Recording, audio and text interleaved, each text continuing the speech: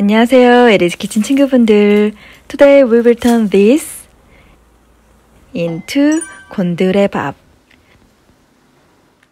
This is dried Korean thistle, which is called gondeure in Korean. Although it is a unique Korean ingredient, luckily you can buy it on Amazon. This step is optional, but if you have enough time, soak the Korean thistle in warm water for an hour to soften it before cooking. Cook the Korean thistle in boiling water for about an hour on high. Make sure that the pot has plenty of water in it. The Korean thistle will be soft like this. So remove it from the water then rinse it in cold water to help get rid of some of the bitter flavor. Squeeze out the water and then cut it into half inch chunks. Wash the short grain rice hinsa several times.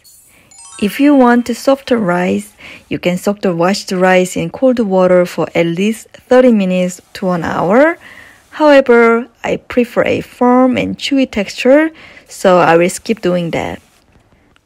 Drain out the water.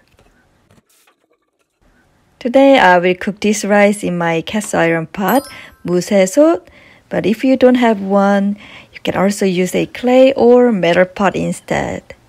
So, put the Korean thistle in the pot along with the sesame oil, 참기름, and the soup soy sauce, 국간장. Fry for about 2 minutes on medium high so that the Korean thistle gets seasoned nicely. Next, add the rice.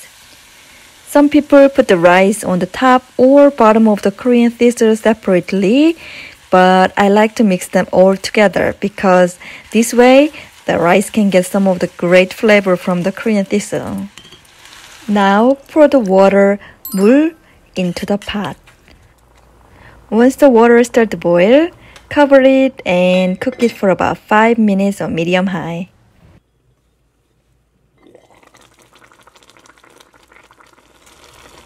Stir the rice to help it cook evenly and not have some part dry out. Cover it again and reduce the temperature to medium low and then cook it for 10 more minutes. Meanwhile, let's make a delicious sauce for the rice. So combine the soy sauce, 간장, the water, the hot pepper powder, 고춧가루, the sugar, 설탕, the finely chopped green onion, 파, the finely chopped red hot pepper, 홍고추, the minced garlic, 다진 마늘, and the sesame seed, 참깨.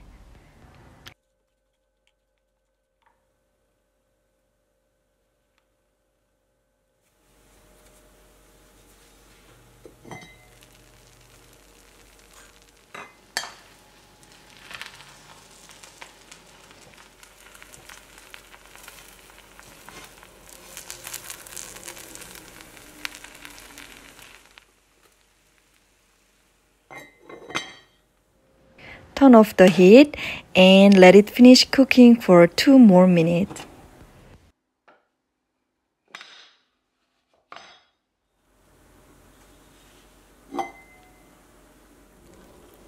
This is how to enjoy your gondeure bap. So simply add the sauce to the rice as much as you want and mix everything and then enjoy. Please try this delicious gondeurebap recipe someday. And if you do, take some pictures and share them with me on Instagram or Facebook because I love to see your food pictures. Thank you for watching. See you soon again. Bye.